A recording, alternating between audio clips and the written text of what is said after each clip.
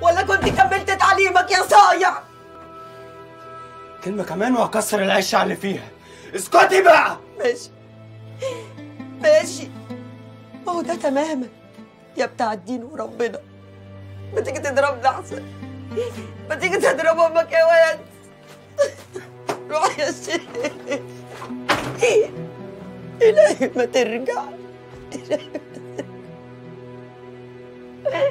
أعزائي المشاهدين يسعدنا أن يكون معنا اليوم الداعية الإسلامي الشهير الأستاذ يوسف عبد الحكيم. منور يا أستاذ يوسف. أشكرك. إيه رأيك في اللي حصل في الاتحادية؟ بسم الله الرحمن الرحيم. الفتنة نائمة.